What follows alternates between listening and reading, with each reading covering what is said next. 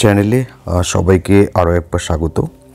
আমার প্রিভিয়াস ভিডিওগুলোতে এবং হোয়াটসঅ্যাপ গ্রুপ ও ফেসবুক গ্রুপে এখন একটি প্রশ্ন বারবার করে আমার সম্মুখীন হতে হচ্ছে, যেটা হলো যে আইসিডিএস যারা ওয়ার্কার রয়েছে, অর্থাৎ আইসিডিএস যারা ইতিমধ্যে কাজের সঙ্গে যুক্ত রয়েছে, তাদের থেকে যে সুপারভাইজার পোস্টে যে প্রমোশনের পরীক্ষা সেই রেজাল্ট কবে প্রকাশ হবে? অর্থাৎ যে লিখিত পরীক্ষাটি হয়েছে তার রেজাল্ট কবে প্রকাশ হতে পারে?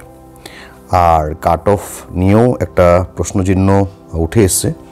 যেহেতু যে পিএসসির আইসিডিএস সুপারভাইজার যেটা ফ্রেশার ছিল, সেখানে কাট অফটা যেহেতু অনেকটা বেশি গিয়েছে। এবার অনেকের মনের মধ্যে এই প্রশ্নটি উপি দিচ্ছে যে তাহলে কি প্রমোশনালদের ক্ষেত্রেও কাট অফটা একটু বেশি থাকবে? তো আজকের ভিডিওটি মোটামুটি এই আলোচনাগুলো নিয়েই। তবে একটা রিকোয়েস্ট করব যে যারা চ্যানেলটিকে এখনও সাবস্ক্রাইব করনি বা করেননি সাবস্ক্রাইব করে দেবে বা করে দেবেন। কারণ আপনাদের করা প্রত্যেকটি সাবস্ক্রিপশন আমার কাছে অত্যন্ত গুরুত্বপূর্ণ। আর আপনারা আমাকে যদি এইভাবে সাবস্ক্রিপশন দেন বা সাবস্ক্রাইব করেন তাহলে আমিও মোটিভেটেড হই আপনাদের জন্য ভিডিও তৈরি করার ক্ষেত্রে। তো এবার আসি যেটা প্রসঙ্গ, প্রথম প্রসঙ্গ সেটা হলো যে আইসিডিএস সুপারভাইজার প্রমোশনালদের রেজাল্ট কবে প্রকাশ হবে? তো আমরা দেখেছি যে ফ্রেশারদের ক্ষেত্রে রেজাল্ট মেন এক্সামের রেজাল্ট এবং তারপরে ইন্টারভিউ বা পার্সোনালিটি টেস্ট হয়েছে এবং তার রেজাল্টও প্রকাশ হয়ে গিয়েছে। এখন এই রেজাল্টটা প্রকাশ হওয়ার ক্ষেত্রেও পিএসসি একটি নোটিশ দিয়েছিল, আমরা প্রিভিয়াসলি দেখেছিলাম। সেক্ষেত্রে তিরিশ thirtieth of thirtieth of January ছিল ডেট প্রকাশ হওয়ার জন্য। তো, সেই ডেটে তো প্রকাশ হয়নি।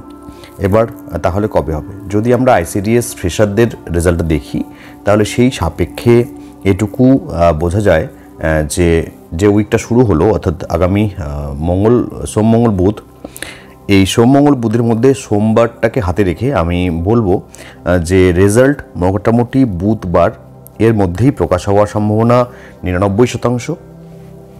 তবে সোমবারের আগেও সরি বুধবারের আগেও সেটা প্রকাশ হতে পারে।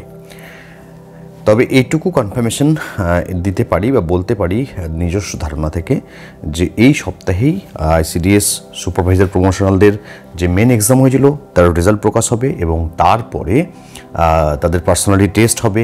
তো পার্সোনালি টেস্টের জন্য প্রচুর প্রিপারেশনের দরকার রয়েছে। কারণ যদি ভালো প্রিপারেশান নিয়ে পার্সোনালি টেস্ট দেওয়া না হয়, যারা এই ব্যাপারটাকে খুব ক্যাজুয়ালি নেবে, তারা কিন্তু আলটিমেটলি কম্পিটিশন থেকে ছিটকে পড়বে। তাদের ক্ষেত্রে কিন্তু চাপ হয়ে যাবে এই চাকরিটি পাওয়ার ক্ষেত্রে। তার জন্য আমি বলব যে যারা হচ্ছে এটাকে একটা পাখির চোখ করে রেখেছে আইসিডিএস সুপারভাইজার পোস্টটিকে বা এই এক্সামটিকে, তারা খুব খেটে পড়াশোনা করে যেন পার্সোনালি টেস্ট দিতে যায় যারা এই মেন এক্সামে সফল হবে।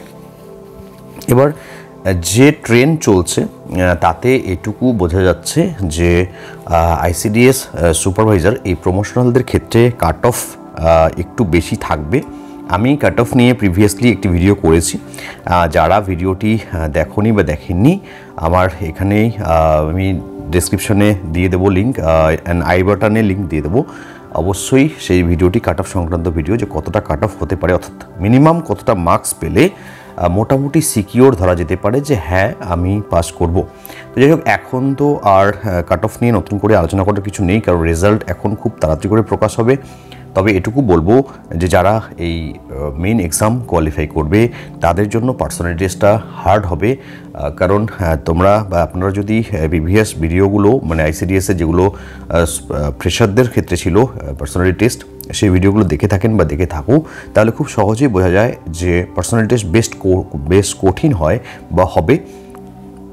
আর যেহেতু সকলেই এখানে ডিপার্টমেন্টাল ক্যান্ডিডেট তো আরও ডিপার্টমেন্টাল প্রশ্ন প্রচুর থাকবে, খুঁটি খুঁটি প্রশ্ন করা হবে। কারণ সেখানে কিন্তু আইসিডিএস ডিপার্টমেন্ট থেকে এক্সপার্টরা থাকবেন। সেখানে থেকেও প্রশ্ন করা হবে। তো আশা করা যায় যে আগামী সপ্তাহে, অর্থাৎ সরি এই সপ্তাহটা শুরু হয়ে গিয়েছে। আগামী বুধবারের মধ্যেই রেজাল্ট প্রকাশ হবে, না হলেও এই সপ্তাহের মধ্যেই প্রকাশ হবে। সকলের জন্য শুভকামনা রইল। আপনারা যারা পড়াশোনা করেছেন, ভালো করে পরীক্ষা দিয়েছেন সকলেই সফল হন এবং পরবর্তীতে পার্সোনাল টেস্টের জন্য আপনারা সেই হিসেবে প্রিপারেশন নিন। আরেকবার সকলকে ধন্যবাদ জানিয়ে ভিডিওটা এখানে শেষ করলাম।